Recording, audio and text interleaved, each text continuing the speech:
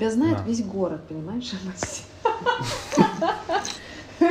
Я просто к тому, что ты работаешь в ресторанном, в ресторанной сфере, то есть в ресторанном бизнесе уже больше 10 лет. Да. И это такая сложная работа, на мой взгляд, потому что тебе каждый день нужно быть вообще там там тирам там та тирам тирам там Веселым, радушным, довольным. Да, не сложно.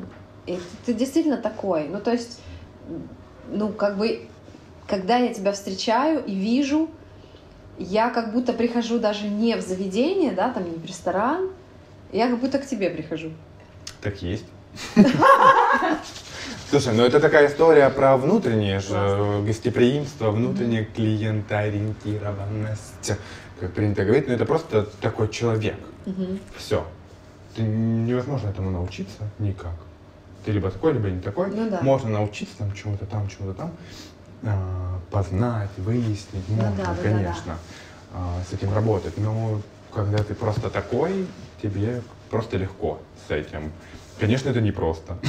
А Не ты, просто ну, ты всегда был таким или нет? Или все-таки вот эти вот, а, ну, как бы твоя жизнь, э, ты, ты в итоге как бы узнаешь себя, раскрываешься. Безусловно, я был таким отчасти, но далее а, я раскрывался, работал над собой. Это было не так просто.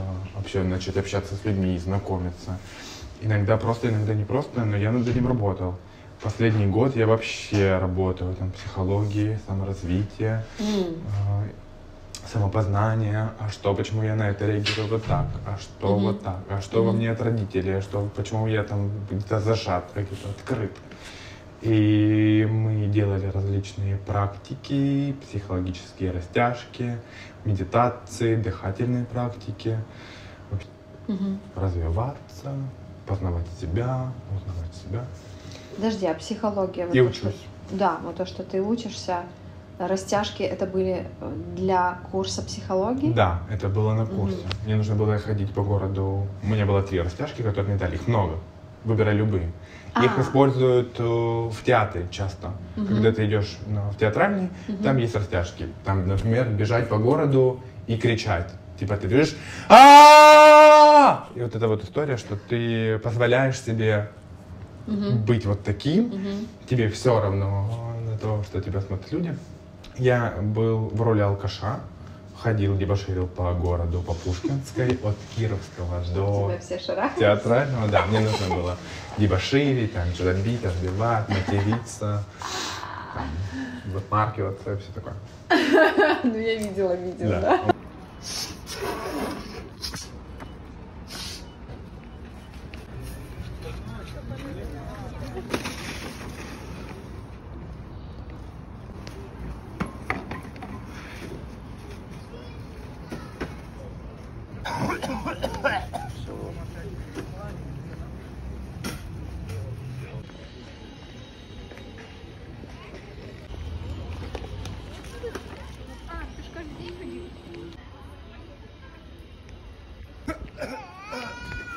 Я ходил от, от э, Ворошиловского до Буденновского в образе женщины, в платье вечернем, в парике, с макияжем. Мгм. Шел туда-обратно. Час заняло по времени, и еще мы посетили в кафе. Кайф. Мне кажется, это мы можем вставить наши. Да. И просил деньги. Возле магазина просил деньги. Тоже. И ты потом после этих растяжек отслеживаешь свое состояние, что это для тебя, что ты испытывал, Мгм. как это было, Мгм. что внутри. Ну и понимаешь потом, о чем это вообще. Потому что я получил деньги, например, когда просил, и через 10 минут я их уже отдал. Нашел женщину, которая подметала полы, и я их отдал. М. И это тоже там взаимосвязь нужно там раскручивать. М. Ты получил деньги, почему я их отдал? Почему я их не оставил у себя? Пришли, ушли. И так в моей жизни не происходит. Деньги Да. ко мне приходят, и я их сразу... Где? Был миллион, нет миллиона. Что? Дим, на тебе карту, иди, иди, делай, что хочешь. Это вот была есть такая история.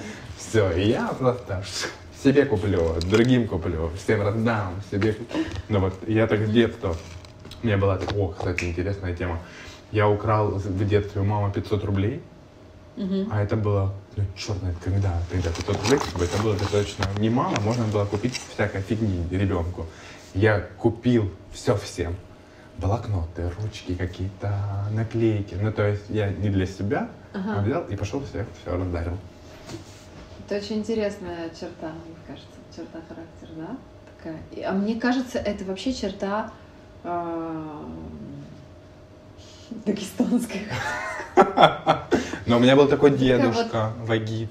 Вот, Мама Фатима моя, она такая. горных народов, потому что вот это гостеприимство и отдать, знаешь, как к тебе приходит человек, Поделиться. поделиться, Да. все лучшее ты отдаешь как бы другим. У меня такая тема Это есть. вот э, и в этом смысле. Мне очень сложно отказать, когда ко мне даже в гости приходят и говорят!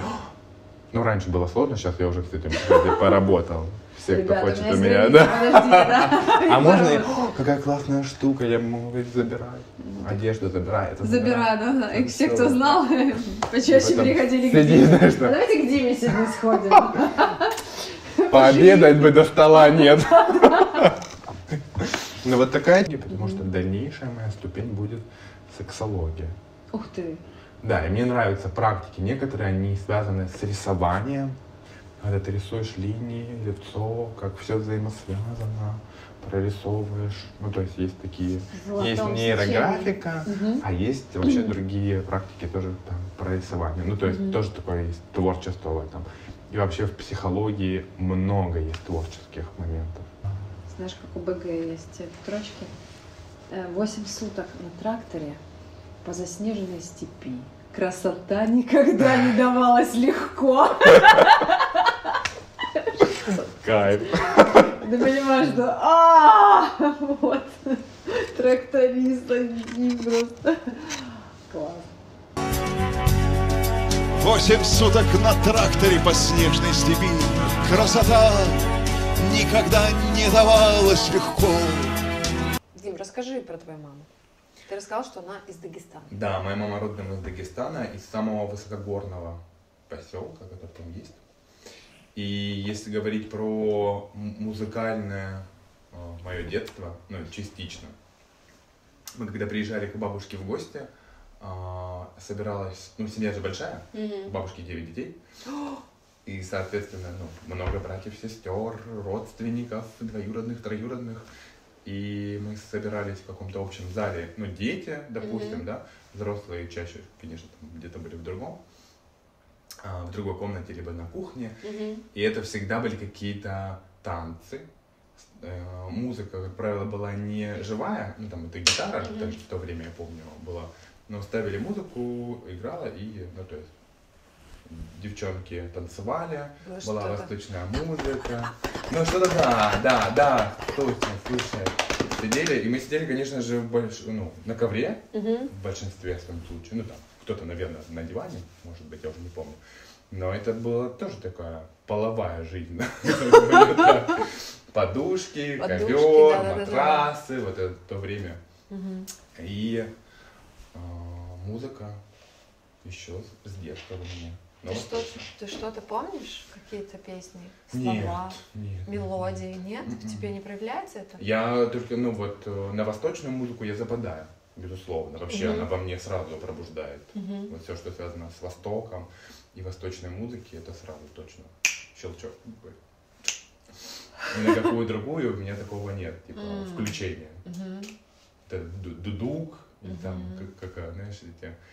а, в музыке Таркана есть какие-то вот такие мотивы, которые тоже меня цепляют. Турецкое ты имеешь в виду, да? Турецкая, да. Ну, я думаю, они все равно же М, как-то... Ну там, ну, ну конечно. Что-то перекликается. Смешанные, смешанные очень. И, э, И пели. вот.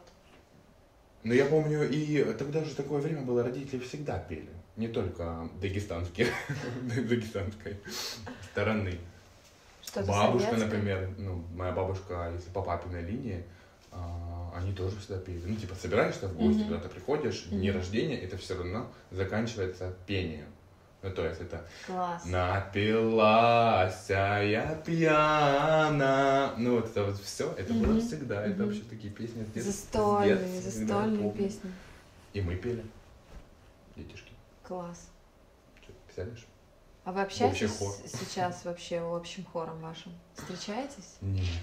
Нет? Мгм. Ну, они, куда наверное... всех, куда они, всех наверное- разбросало далеко? Слушай, ну они, наверное, встречаются. Кто-то уже уехал в Дагестан, если там говорить про де- детскую да, вот эту Мгм. историю. А кто-то вообще в разных городах, кто-то в, ну, в городе Шахты, потому что б- потом бабушка с дедушкой переехали в городе Шахты, и много вообще кто из родственников там тоже жил. Мгм. Ну, все взрослые, я ну, мало, Да? мало с кем общаюсь. Так уж вышло. Как интересно. Мы вот собираемся на Кубани у дедушки. И э, получается так, что э, у дедушки и бабушки трое детей, то есть моя мама среди них. И нас много вну- внуков в итоге. Мы все собираемся до сих пор, и мы поем. И дедушка каждый раз учит, ему уже 83, новые песни. Ну, как минимум две или три. Он записывает, слова. У него есть список. Знаешь, как вот я приношу список на концерт? У него тоже такой, да, уже выпили там достаточно самогона, всего, он приносит список. Так. И он нас спрашивает, вам какую? Социальную или индивидуальную? Мы такие, индивидуальную давай, чтоб слезки там потекли. В общем, и, ну, я этих песен, ну, то есть я наслышана какие-то песни, но я их не все знаю. Он очень любит казачьи. Мгм. Вот, и, и это всегда так красиво, и бабушка всегда затягивала вместе с ним. Вот, и да, тоже у нас такое. Ну, я помню артистичное свое детство, потому что мы всегда делали какие-то сцены. Сценки. Да, это, мне кажется, это Класс. тогда было вообще, наверное, да? Это, У нас, нет? кстати, это было не принято, мы А у нас почему-то было не принято. делали этого. Приходят гости, это не, не обязательно был какой-то Ага, праздник, ага. вообще не про это, что типа Новый год, день рождения, давайте, дети, идите. Никто нас не просил об этом. Мы сами ну, там, коммуницировали друг с другом, наряжались, одевались, там какие-нибудь бабули, которые поют, Класс! какие-то пианисты. То мы пели, ну, на день рождения, конечно, мы пели, там, любимые родительские песни, они нам заказывали, мы их пели. А, разучивали до этого, и это все так происходило. И это было классно. Ну, В смысле, было такое Мгм. творческое детство, и не было никакого стеснения, ну, типа, перед своим. Ну да, перед своими, Было причем большая, окей вообще. большая аудитория своих. Класс. И в итоге что? И ты теперь делаешь перформансы, Дима. Ну, немножко. А, вот. Вот, тоже перформанс, часть перформанса. Ну расскажи. Потом была школа уже. Ну, школа, а школа, хорошо, давай пойдем э, по этапам. да, Да, если в говорить. школе я уже снежинка, березка, поющая березка, танцующая, танцующая снежинка. Но это вот спасение, на самом деле, для школьных учителей, когда артистичные дети, они сразу Но выделяются из всех. был затык. Да? Потом меня убрали от микрофона в какой-то день. Я помню, мы выступали на...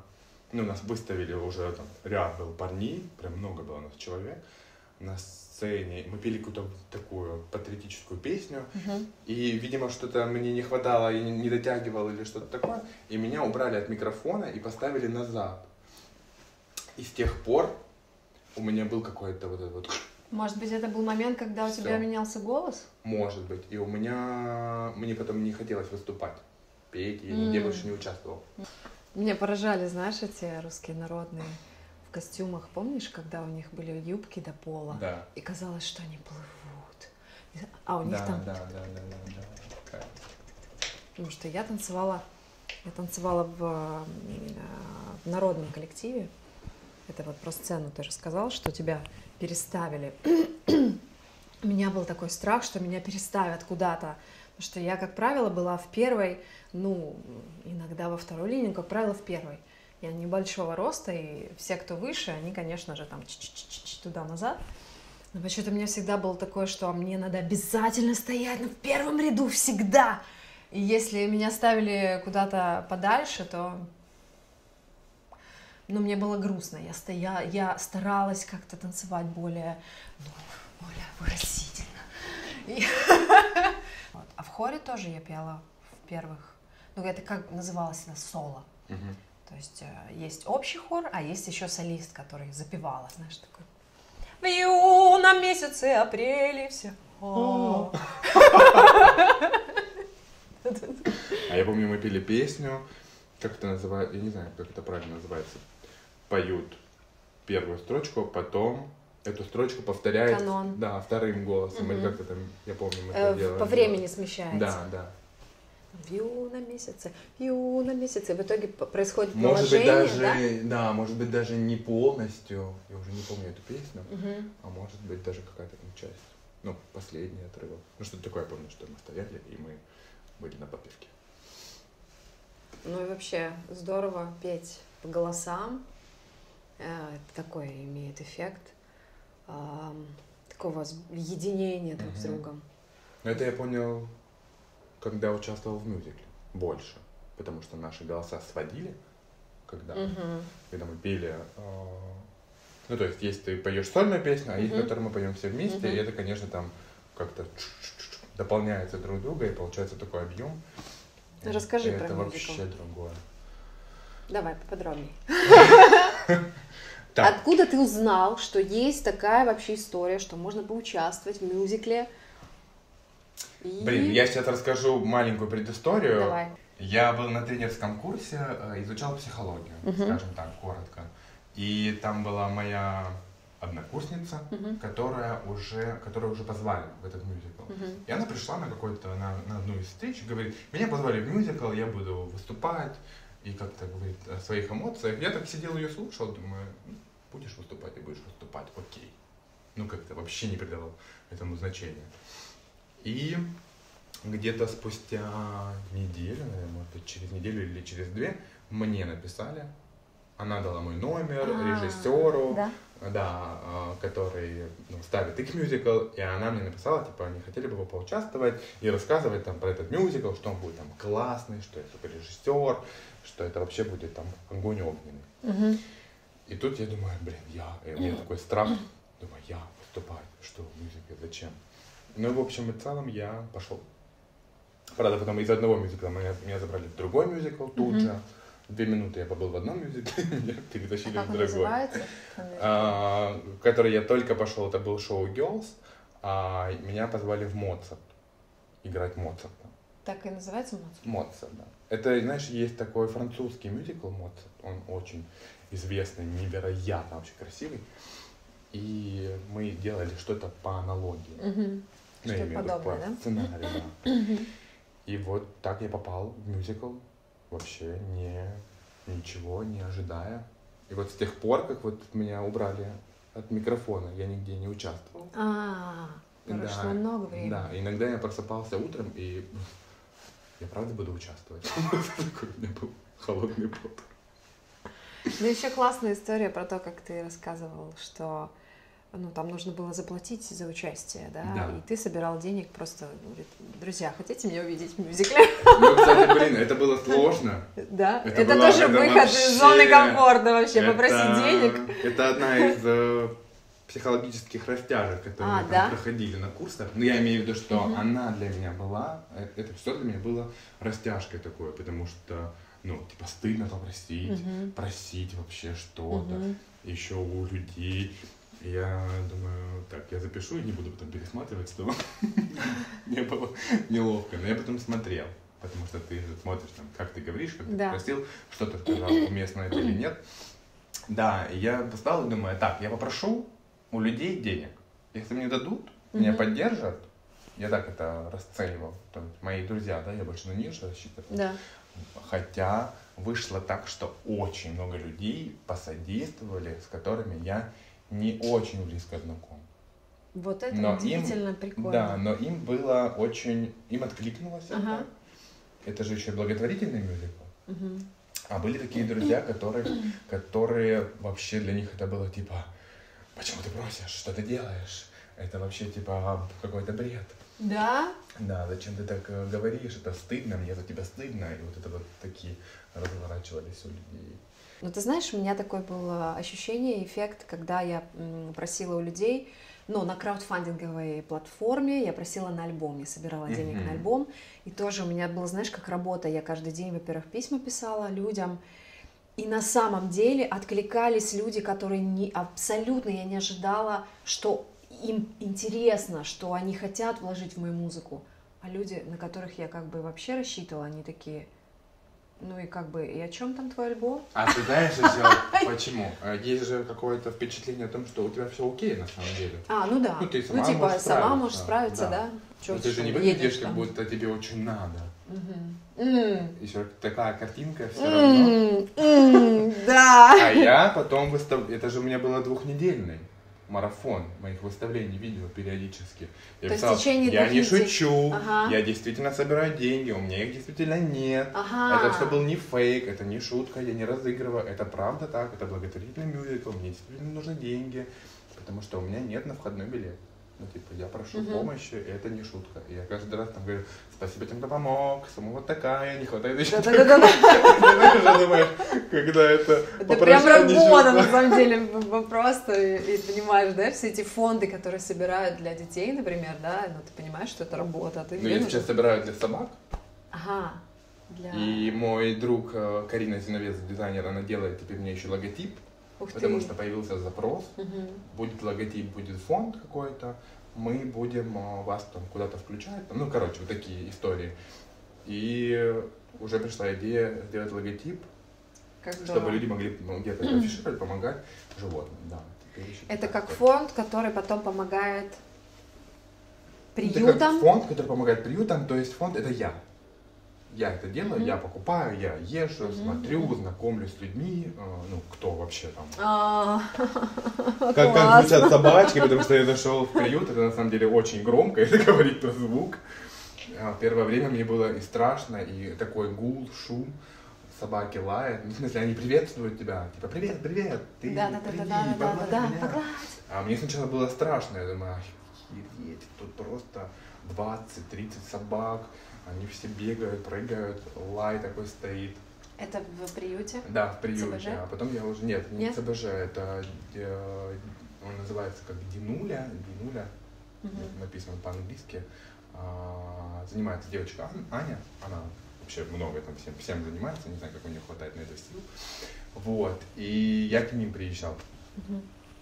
туда и уже пообщался со всеми собаками, походил по вольерам, когда уже, потому что тут еще убежали в другую. Убежали, ничего, мы сейчас Убежали вернемся, у нас тему. мюзикл, да. Так как меня покусали собаки в детстве, это был мой страх, страх собак. М. И тут как бы ты приходишь там, где очень много собак. И думаешь, «О, Вообще это страшно. Да. Я знаю.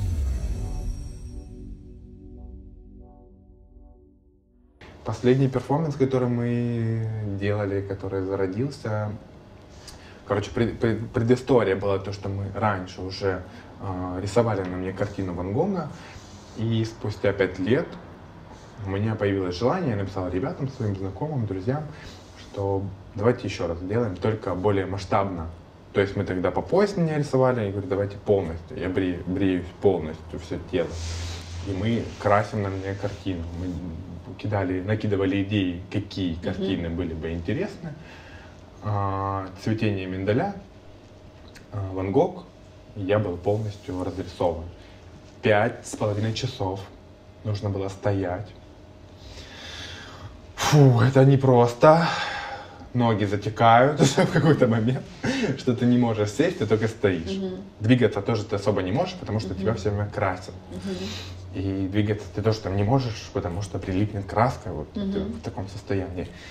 И мы потом двигались э, э, по городу, через центр, по центру, шли из студии мейкапа э, в фотостудию.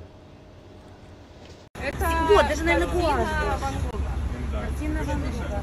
А это автопортрет Ван Гога. Он такой переходящий. Можно прикоснуться? прикоснуться. Было интересно. Но мне было ну, нормально. У меня, у меня было как бы такое волнение, но это было волнение не страха какого-то, было Мгм. какое-то такое волнение Просто просто, волнение, да. да. Ну, от этого никуда не, не уйти. Люди интересовались, подходили, спрашивали, кто-то не спрашивал, не подходил Кто-то и хотел косились. потрогать, да, да? да. А можно потрогать. Потом мы еще устроили фотосессию на улице после студии. Ну, в общем, было прикольно. И тогда у меня родился а, такая, такой проект или мысль, чтобы сделать это еще теперь масштаб, чтобы несколько человек задействованы и сделать там онлайн, чтобы кого-то раз- раскрашивали. И такие картины, знаешь, привлечь внимание людей какими-нибудь очень яркими картинами, очень интересными, необычными работами, которые будут нарисованы на людях. И позволить даже человеку, любому, кто будет в этом зале, на тебе тоже что-то нарисовать. Вот кистью, вот художник, он рисует, ты можешь с ним тоже какой-то там внести, чтобы, не знаю, там условно 200 человек пройдет в этот день, и каждый оставит свой след на этой картине. Классный перформанс. Ну и разные-разные, в общем, у меня идеи. приглашать на наш, на наш перформанс. Я участвую. Ну, реально, кайф, чтобы было хотя бы 10 человек, 10 живых картин, и такое, чтобы там, а другой человек держит, одна картина висит здесь у него, другая там, или рамы, и мы на теле его рисуем. Кто-то будет лежать на полу, и мы вокруг него будем рисовать, и он будет частью картины на полу, частью картины на стене. Ну и вот такие разные э, Класс. моменты, но чтобы это были какие-то яркие, известные картины, чтобы привлечь внимание людей к этим произведениям. И остро-социальным вопросом. И вот социальным вопросом, да. Но у меня образование не закончено, моего дизайнера интерьера и графики. А не законченное почему? Потому что я работал в сфере ресторана. Было тогда мое повышение по карьерной лестнице. И все. Просто затянула работа. Времени было мало, там нужно было рисовать, делать проекты. И это, ну, Ты поставил на паузу это, ты хочешь это продолжить или нет? Я э, хочу продолжать в другом ключе, не в таком, там, котором могло бы быть, но мне нравятся иллюстрации. Я буду в этом развиваться. Я уже, у меня есть там наброски, я рисовал, э, делал, э, и я могу создавать историю. Сюжет. Да, сюжет. Это вот классно. То есть То я, есть я вижу, даже какой-то бывает, знаешь, я иду в Сценарист. городе, ви- вижу какое-то пятно, и я думаю, так, это может быть, увидел образ в этом пятне. Классно. И Ну, разворачиваю. Можно показать, да, твоих лягушек. Там, Да, я разворачиваю, как он там веселый банан. Веселый банан. Потом, как этот э, герой на столбы какие-то, кто-то оторвал там э, объявление, вот этот клей остался, а у меня уже там Зародилась какая-то, да? да. Всякие разные такие кайф. социальные. И я люблю видео, снимать, монтировать, куда-то ехать. Обязательно начну что-то снимать. И уже два видео я снял видео поздравления с днем рождения, где тоже есть сюжетная линия, что-то необычное, это достаточно креативное, веселое.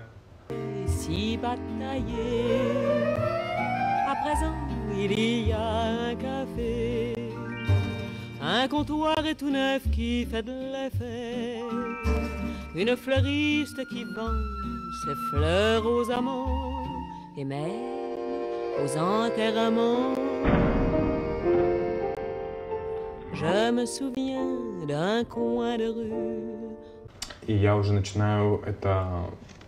Ну, есть мысль так, уже для этого человека сделаю. У меня написан для одной подруги сценарий, для другой подруги сценарий, что на их следующий день рождения у меня уже есть сценарий, Ух ты. и могу снимать. Но это, знаешь, как тоже масштабируется все немножко больше, больше, Да-да-да, хочется уже да-да-да, больше, уже да-да-да. хочется больше людей в кадре, Ага. уже хочется других локаций. Мы снимаем в одной локации, там просто меняется за счет каких-то там атрибутов, там, там ваза стоит, ты поставил, там что-то там, не знаю, сундук, не сундук, цветы есть, цветов нет, разные-разные атрибуты, а тут уже хочется, чтобы это были локации, костюмы.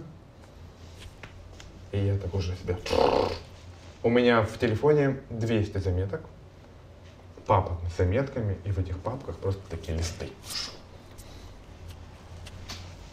которые нужно перелопатить. Может, у тебя есть там пару мыслишек насчет песен? Я все же думаю, так, надо писать острые темы. Я писал стихи, Да? а, иногда пишу какие-то стихи и часто поздравляю в каком-то таком стихотворенческом стиле. Про человека, что я знаю, я там бывает, ну, ночью там проснешься, Это круто. написал. Или в душе.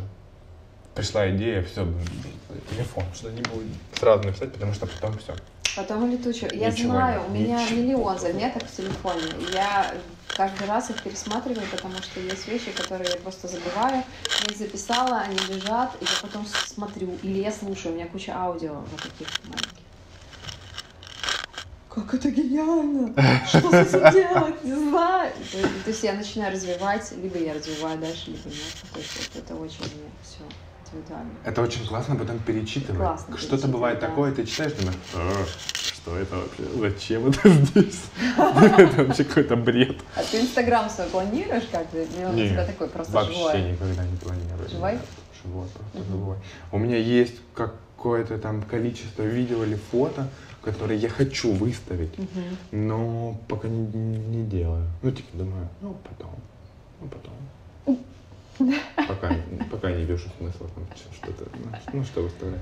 Но я выставляю очень точечно, нет такого, что там Ну да, да. Сегодня два, завтра один, через Да. пару дней. Могу сразу три, А, ну да. А, я за понимаю месяц. тебя, да, да, да. а могу ни одного в течение трех месяцев будет просто тишина в ленте. Ничего не будет. Ага, да. Но есть пара каких-то таких красивых фотографий, именно творческих, таких художественных, Мгм. которые я буду выставлять. Чтобы это было интересно. Чтобы это не было не просто моя, моя фотография, которая «Привет, это я». Вот еще я.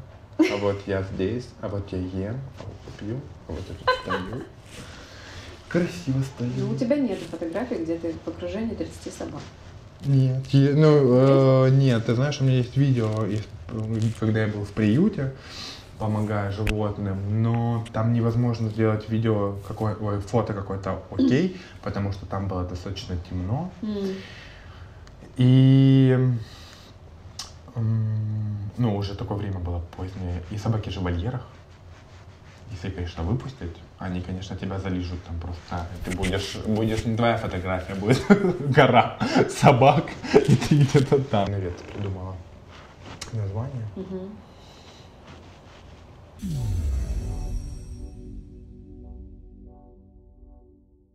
Дим, на самом деле получается, что все твои творческие прорывы, такие вспышки а, произошли, а, потому что ты хотел встретиться со страхами своими. Ну, невольно оно так Да? получается. Не могу сказать, что я хотел, но в плане мюзикла это был такой вызов.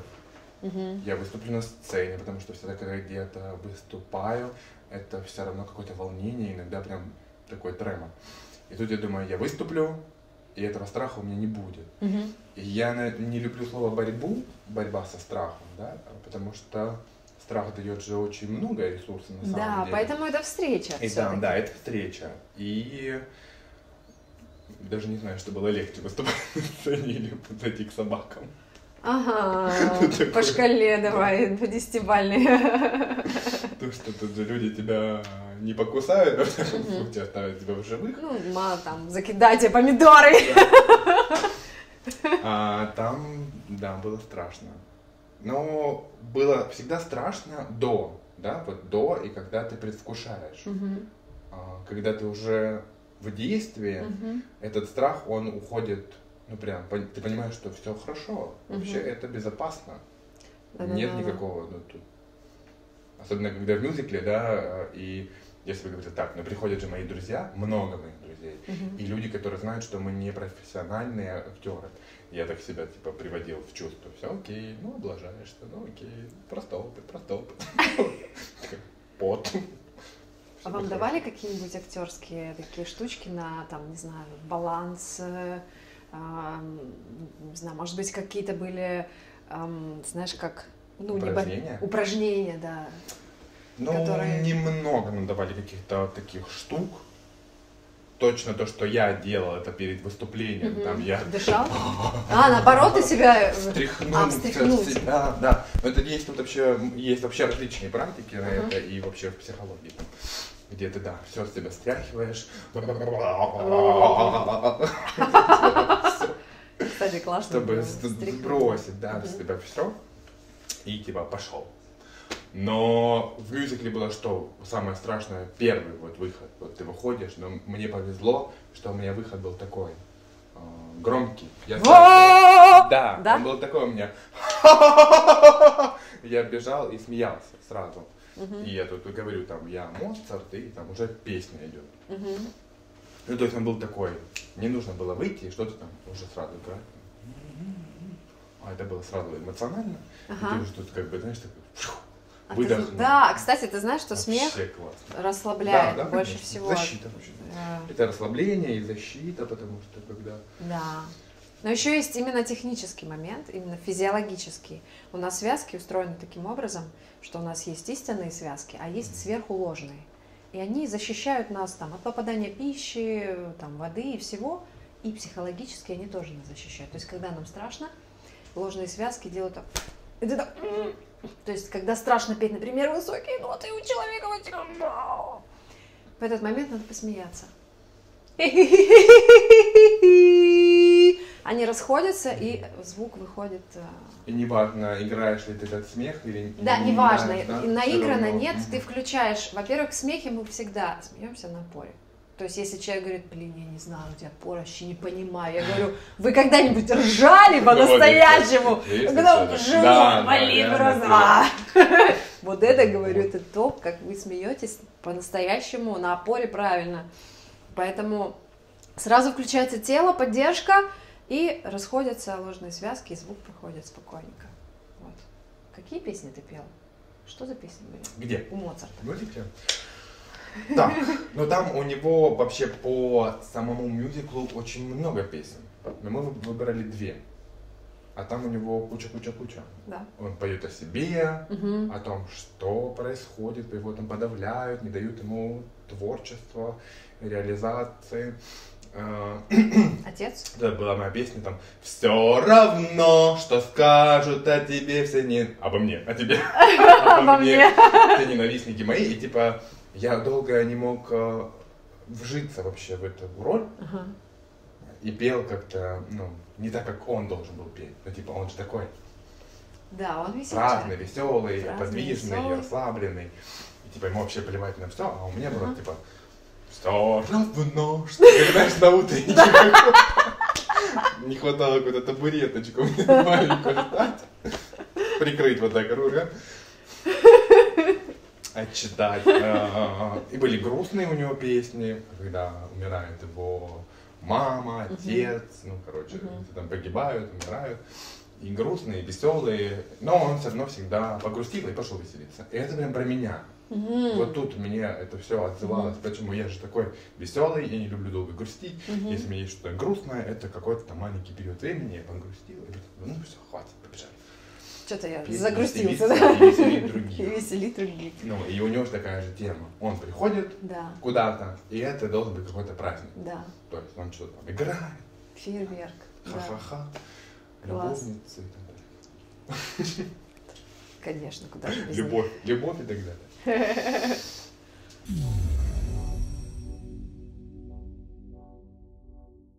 Так, Дим, давай знаешь, что с тобой обсудим сейчас? Про, мы говорили про Моцарта, Мгм. про то, что ты пел песни, выход из зоны комфорта. Вы пели там а, в хоре. Вы пели в хоре? А, Мы Или пели не потом- в хоре, у А, нас была общая отдельно? песня. Пели отдельно, записывали голоса, да? Правильно? Да, да. М, То есть целом вы вот как хор не звучали друг с другом? Только на репетиции. Вот, на репетиции. Да. Ну, класс. Да, мы там учились слушать друг друга, Так, подстраиваться друг под друга, а как это слышать соседа.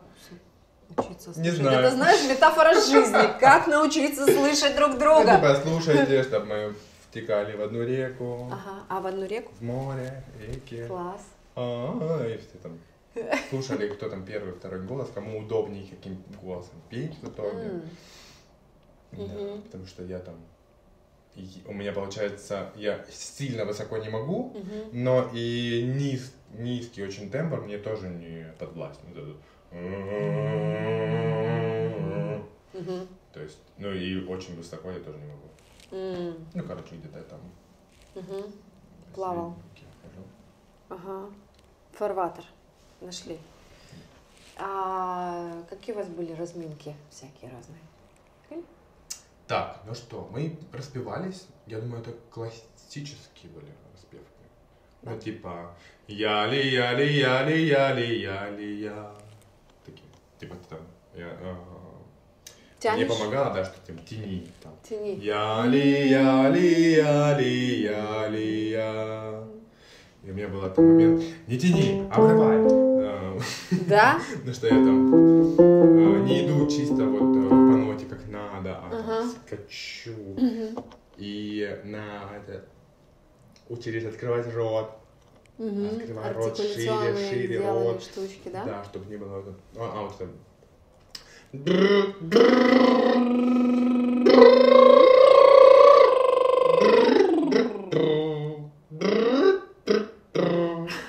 Так мы делали.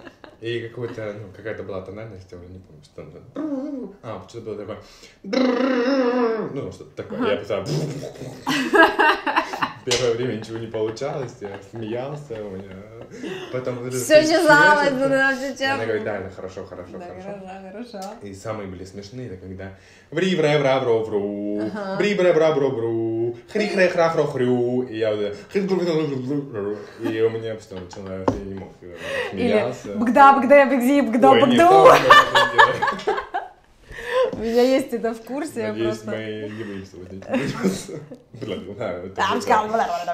На этом мы и закончим. Слушай, давай, знаешь, что, распоемся? Э, Просто начнем с, с того, как, э, ну, так как ты уже выступал, ты понимаешь, да, что звук связан с непосредственно с телом. То есть, если ты телом не помогаешь звуку, ну, он там как-то сам по себе живет. А если ты сопровождаешь э, звук, помогаешь ему там мышцами, да, там направляешь ли ты рукой, направляешь ли ты там, не знаю, та- тазом. Кстати, Майкл Но иногда Джексон, да? получается что-то, а иногда нет. Ну, я хотя люблю, когда я... Ну вот, Раньше, когда я был на Ага. распевке, это был какой-то статичный человек всегда. А потом я уже начал... э, У нас был такой урок, типа, прыгай, хочешь прыгай, хочешь, Хочешь, сюда ага. на стул, хочешь туда, сюда, залезь. Мгм, мгм. И это мне помогло расслабиться. Напряжение убрать. Да, да, да, Потому да, что да. когда у тебя что-то не получается петь, ты типа такой, блин, что такое? Я не вытягиваю. Тем более мюзикл самый сложный жанр, потому что ты должен быть и актером, и танцором, и певцом одновременно, да, то есть ты должен вообще своим телом Мне, э, владеть. да, я, я что это был мой первый опыт, и он был в главной роли, Ага. и он был еще и в мюзикле. И в мюзикле, да, то есть сразу. Я, я просто думаю, Лучше сразу всех зайцев убить. я же шел на вторую роль, на роль второго плана. Я же шел на роль второго плана. Почему так случилось? Почему так случилось? Да, действительно, чего. Если уж собак э, боятся, то родился ты. да. то сразу идем и, и слушаем, и видим 30 собак. Боишься, боишься выступать, сразу мюзикл, главная роль. Мюзикл. Поэтому, смотри, сейчас мы сделаем, издадим звук. А, такой какой-нибудь простой звучок. Две нотки. Две, две нотки. Готов. Не, давай три. То есть мы просто вниз-вверх.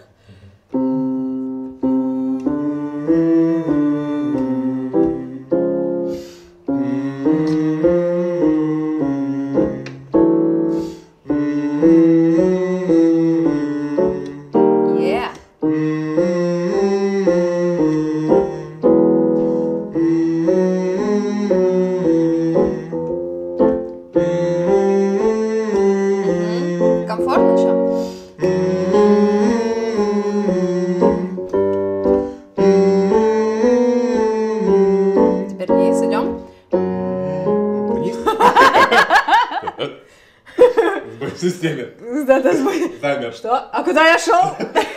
Я куда-то шел. прикольно. Кстати, я, я, ты не первый, кому я, кому я просто вкидываю какое-то слово, и человек такой, а что делать? Где я нахожусь? Вниз.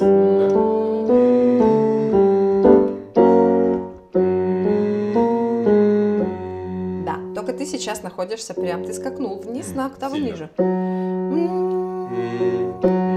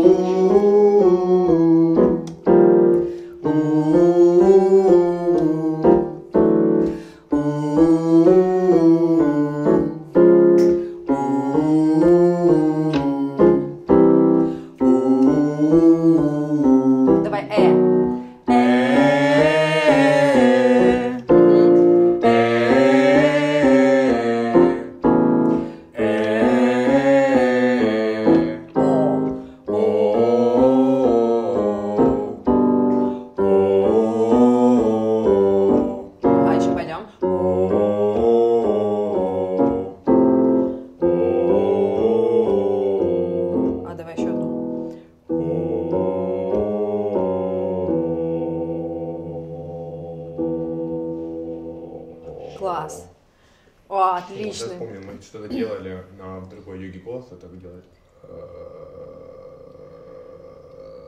В технике э, EVT это называется штробас. Штробас. С вами был Штробас. И Штробас. Кобас. И кобас. А ты знаешь, когда ты просыпаешься, можно таким образом пробуждать голос, то есть ты еще такой сонный, и связки тоже на самом деле спят. И вот эта скрипучая дверь Это знаешь, когда полезно. Когда ты проснулся, а тебе уже звонят с работы, а ты уже спать не должен. Ты такой, «Э, да, добрый день, да, да. А я думала в телефон. не объясню, что это был Штробас, потом никому. Никому. Я поняла. Слушай, отлично. Давай сделаем на Давай. только на 5 нот, смотри. То есть вверх-вниз тоже такой э, маленький мостик.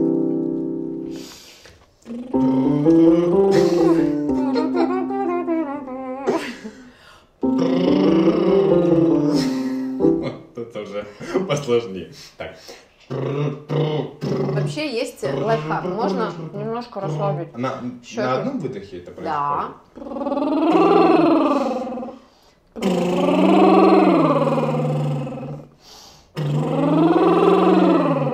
Будет весь слюнях наш этот, наши клавиши. Это нормально. Упражнение называется «Заплюй учителя», если что.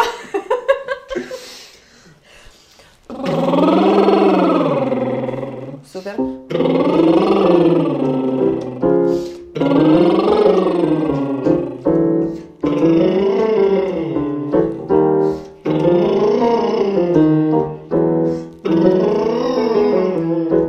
Еще, еще. Держись, Дима!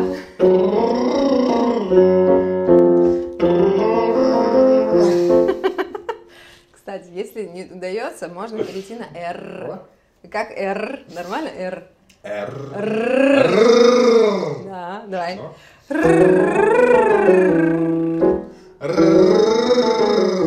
Ага.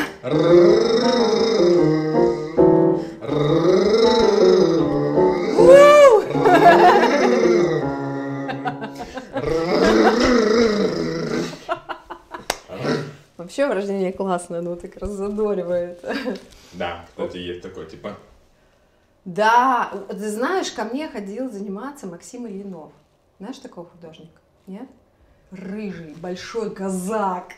Он художник, причем а, у него дальтонизм, но он пишет картины. Ну, ты наверняка видел я думаю, в что пирсе, просто не что пирсе. там. Помнишь А, такие всё, вот эти всё, вот да, лица да, да. э, э, красочные? Это, короче, он. И он невероятно круто поет. Во-первых, он сам э, пишет э, песни, читает рэпчик, у него есть каза- казачий рэп. И э, вот он, когда делал эти упражнения, у меня гудели стены дома. Ну, вот когда мне не получается, типа, как машина, типа, Да, в этом, вот, в этом и суть, что что ты тут?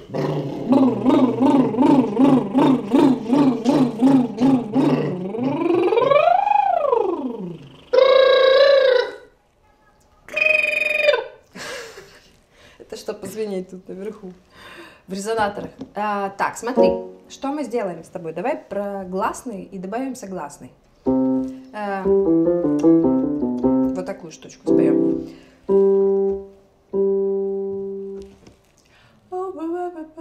Сейчас какой-нибудь... а, я все время придумаю, как, как- придумываю какие-нибудь распевки. Не люблю просто одно и то же. Так. э, Качаю. Смотри, диа, диа, диа, диа, ди. Мгм, Окей? Подходит. Пробуем? Диа, диа, диа, диа, ди. Диа, диа, диа, диа, ди. Диа,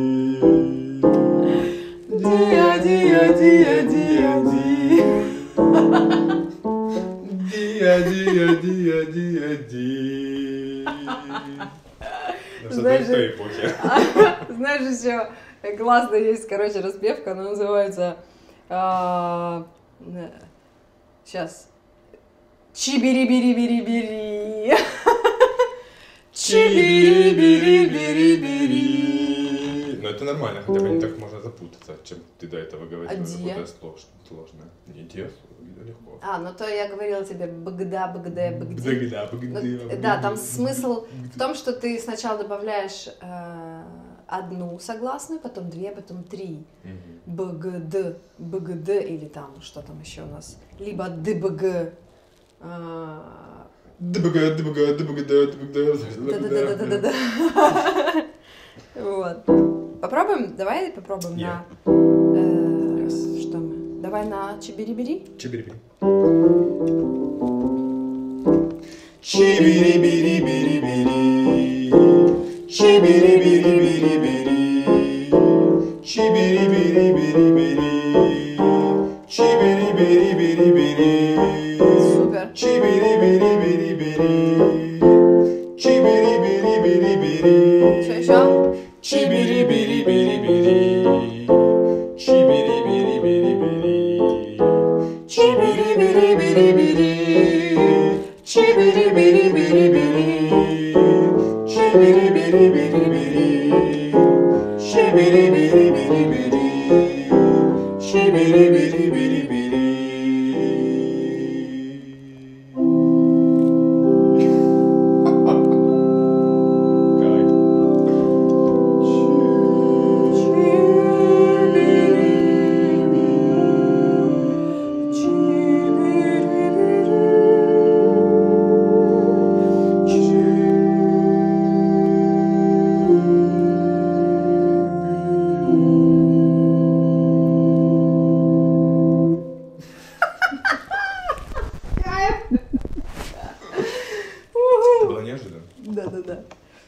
Просто есть Я вот не знал, этот что такое можно ор- делать. орган, Я понимаешь? вспомнил, что мы когда раскрывались, у нас было типа ты поешь, ну, таком, типа, чебери бери бери бери а потом быстрее, быстрее, быстрее, быстрее, быстрее, быстрее. Темп, темп, темп. Мы с тобой выбрали песню, Да. прям классную. Она такая. Которую я заслушивал лет пять назад. Прям. Мгм. Ты жил в И Москве в это вчера, время. да, и вчера. И вчера. Да. Да, мы когда выбирали, и, и она просто прям про- проявилась. Я пришла дома, поиграла ее, потому что а, Я утром ее слушал. слова, слова прекрасные. Константин Никольский, музыкант. Музыкант. Попробуем? Да. Что творится, что творилось на твоей земле, все в этой музыке. Ты только улови.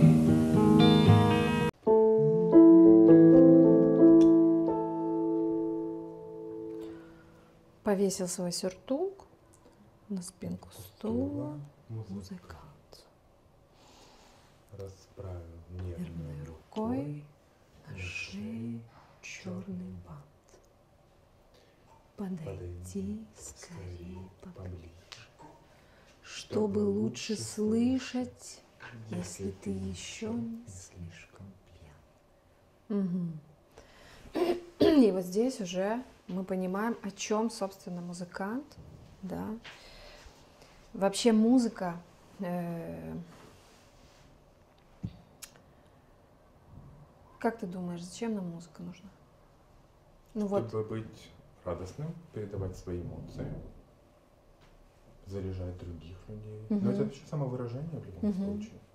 Само, ну, проявление себя. И тут же можно вообще переживать любые эмоции, Мгм. как радостные, так и грустные, через музыку тебе будет. Ты радостный, ты поешь, ты усиливаешься. Ты Мгм. грустный, ты поешь, тебе становится легче. Да. ты шу, такое, снимаешь напряжение. да-да-да, цели- целительство Целительство. такое определенное, да. Это может также и усилить твою грусть. Ну, смотря как ты да, направишь. То есть, Ну, вообще, э, да, есть э, музыка, которая действительно усиливает, как бы гипертрофированно делает тебя грустным, чтобы ты, может быть, быстрее прожил, не знаю. А есть э, целительные какие-то нотки, которые ты, Мгм. все будет хорошо. Вот. Но для меня очень часто целительными становятся песни мои просто импровизационные. Я сажусь и пытаюсь сыграть, уловить состояние, сыграть его, что-то напеть. Это может быть даже не песня, а просто какой-то маленький набросок, который меня исцеляет. Вот. А бывает, конечно, хочется усилить радость для людей. Да, допустим, там бразильская музыка. При слове бразильская музыка такая, Да, О, да, это ритмы, это так горячо. Ну, слушай, я очень люблю еще испанскую музыку, она тоже для Вот. меня, она меня заряжает.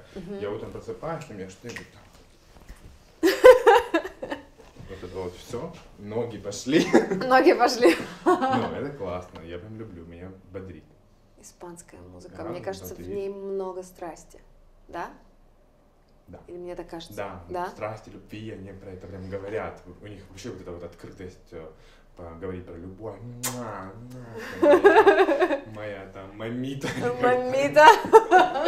Но у них как-то это прям много где про это, что ты там моя такая, такая. Слушай, правда, есть же народы, которые настолько увеличивают э, просто геометрической прогрессией эти чувства, э, у них просто это в крови. Мгм. Так прикольно, да, если сравнить, наоборот, с русскими людьми. Но у меня какое-то такое впечатление про Испанию, что люди как будто там танцуют на улице. Я не знаю почему. У меня такое ощущение, что я там, я был только на островах а, испанских, не был в самой Испании. У меня такое ощущение, что там ты идешь, люди танцуют на улице, и ты можешь просто подойти и с ней потанцевать и пойти дальше. Как в Бразилии, я помню, это самбо, дижанейро.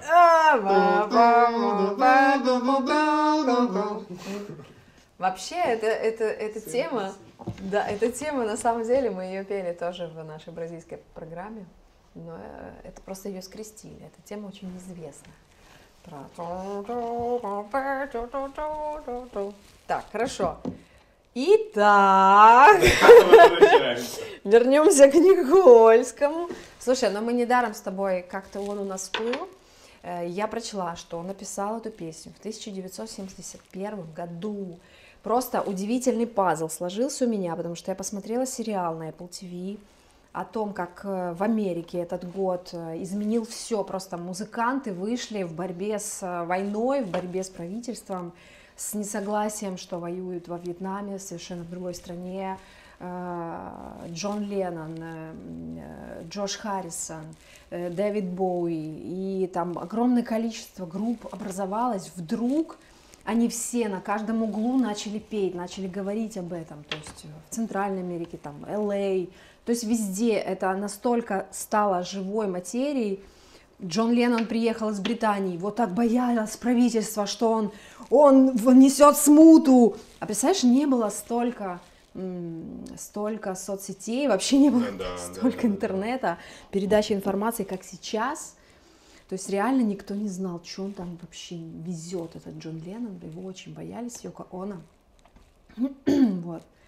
А, потому что он имел огромное влияние на людей.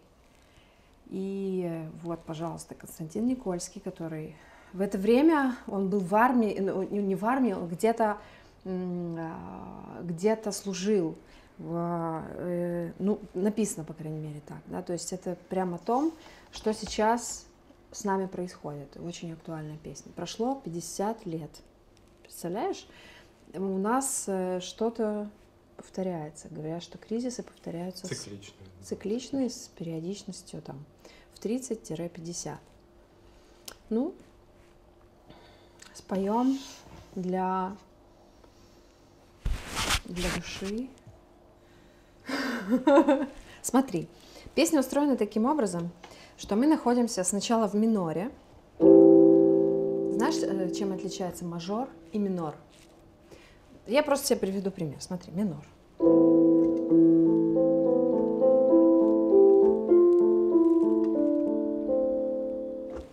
Мажор.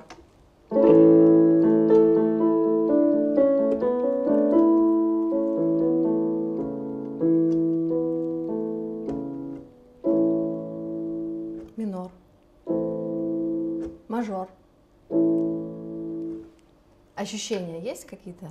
Ну, для меня мажор получается более активный Мгм. э, и выше, Угу. а минор более такой плавный, тягучий, как Мгм. получается такой вот Вообще, вот, удивительно классно сравнил, потому что не просто э, Выше ниже. ну, даже не просто выше ниже, а э, очень часто для детей рассказывают, как знаешь, грустный, веселый. А здесь действительно минор обволакивающий, я бы тоже так назвала, потому что он тебя заставляет немножко как будто замедлиться. Погружаешься. Погруж... туда Да, погрузи тебя. Мажор, ну как бы, ну мажор, окей, как бы, everyday. Я проснулся. Everyday. Я проснулся. Тема завтра. Да-да-да. А здесь мы начинаем с минора, э, и удивительно, что у него вот это сочетание мажор-минор, как будто бы, э, знаешь, как э, он пытается уравновесить грусть и, э, ну, все-таки какую-то там, не знаю, надежду, жизнь и так далее, и так О далее. несчастных и счастливых. То есть и несчастный, и счастливый, добро, зло, лютая ненависть и святая святая любовь. Это просто такие полюса, извините меня. Вот. То все в этой музыке ты только улови. И это гениально.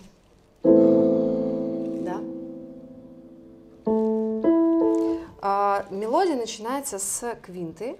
Квинта, то есть э, это 5, 5 нот. То есть мы находимся в ля миноре, мы считываем раз, два, три, четыре, пять. Повесил свой сюртук на спинку стула музыкант. Да, только, э, Дим, ты давай пой на октаву выше, Хорошо. как вчера. Повесил свой сюртук на спинку стула музыкант. Расправил нервною рукой на шее черный бант. Подойди скорей поближе, чтобы лучше слышать. Если ты еще не слишком пьян, о несчастных и счастливых, о добре и зле, о лютой ненависти и святой любви. Мгм. Да, нотки. Давай найдем вот эти вот. А, На самом деле это ноты очень близкие. Повесил свой сюртук на спинку стула музыкант. Давай сразу о несчастных, смотри. О несчастных и счастливых. Ой, подожди. О несчастных и счастливых, о добре и зле.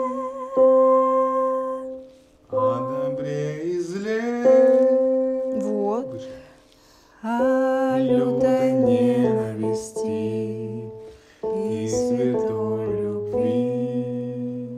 У тебя одинаково классно получается петь и высоко, и на октаву ниже. Ты сейчас пел.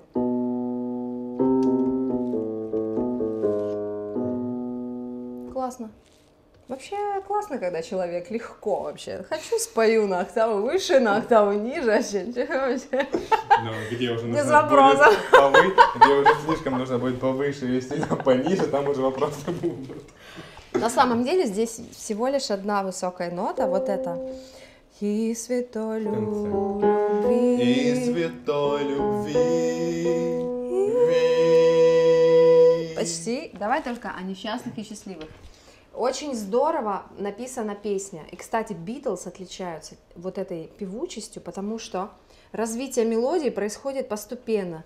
Ты чуть-чуть сходил вниз, потом поднялся по этим же ступенькам, чуть-чуть сходил вверх. Yesterday, all my troubles seem so far away. С этой же нотой. Now it looks as though they're here to stay. Oh, I believe in yesterday. Твой будильник?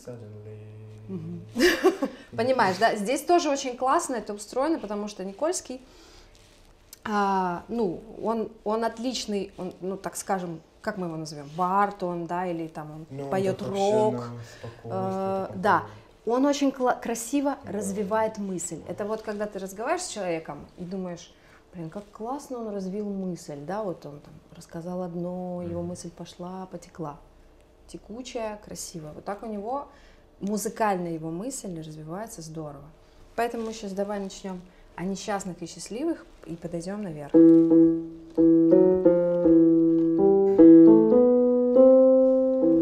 О несчастных и счастливых, о добре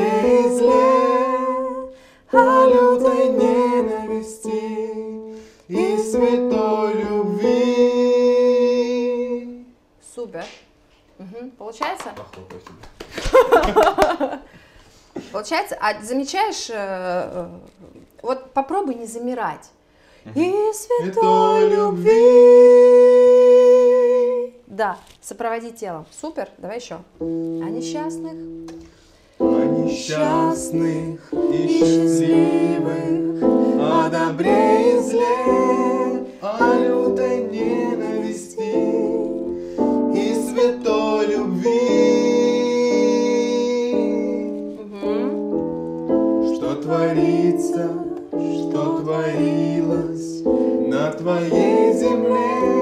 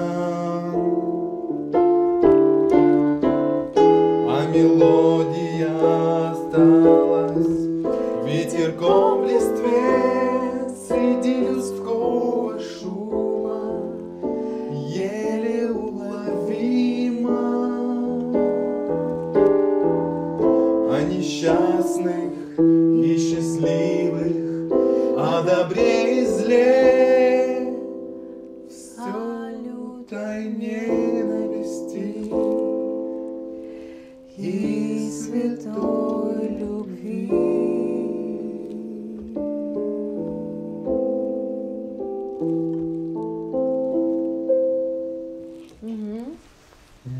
Бы здесь на самом деле закончила. Я не Она помню, как. непростая прям, Я не помню, как. деле. Вообще непростая. Вообще непростая.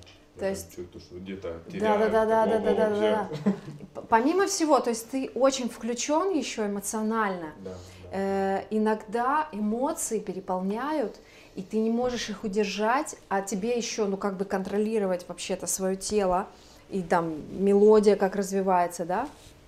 Э, Действительно, на самом деле так любая песня. То есть если в нее вживаться, как в роль, и чувствовать ее, и каждое слово, она действительно сложная. Ну, то есть любая песня сложная. Но здесь я бы, знаешь, как закончила, как будто бы это вопрос. То есть он а, э, поет, э, они, вот последние две строчки. Э, о несчастных и счастливых, о добре и зле, о ненависти и святой любви. Не, все-таки не вопрос. Утверждение. Мгм.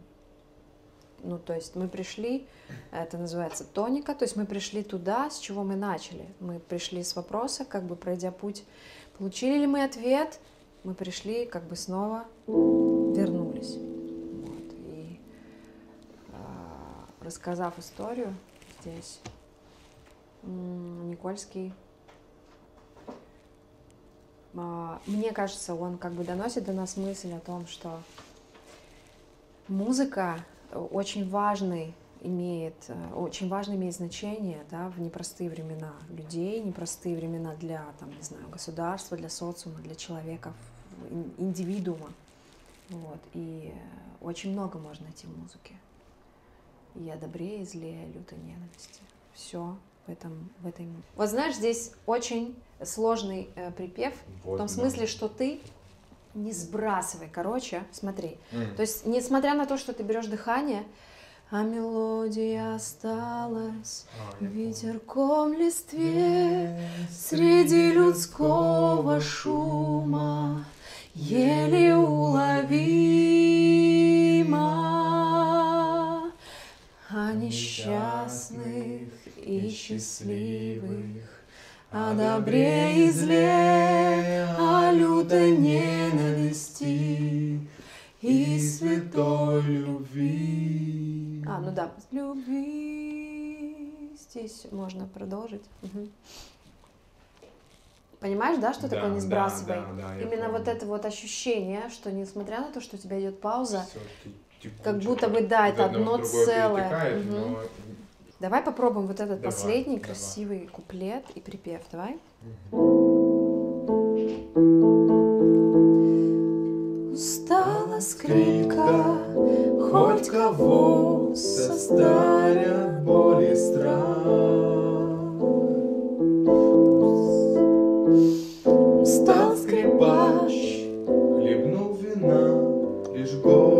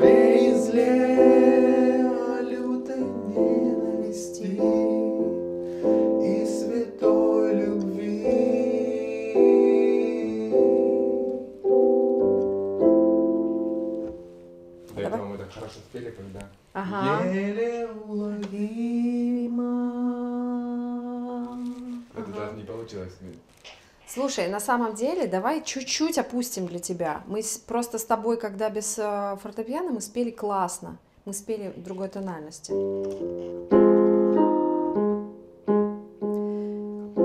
несчастных и счастливых. О добре и зле. Сейчас, сейчас, сейчас, подожди. Подожди.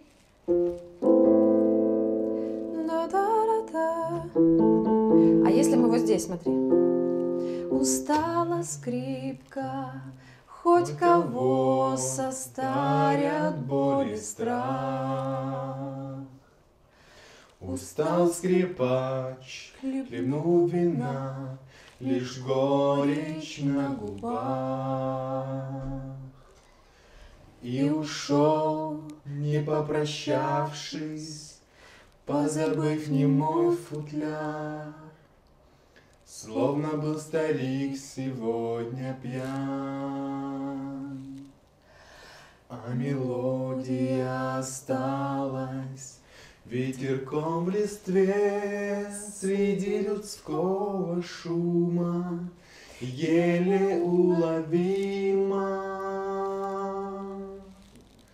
О несчастных и счастливых, о добре и зле, о лютой ненависти и святой любви.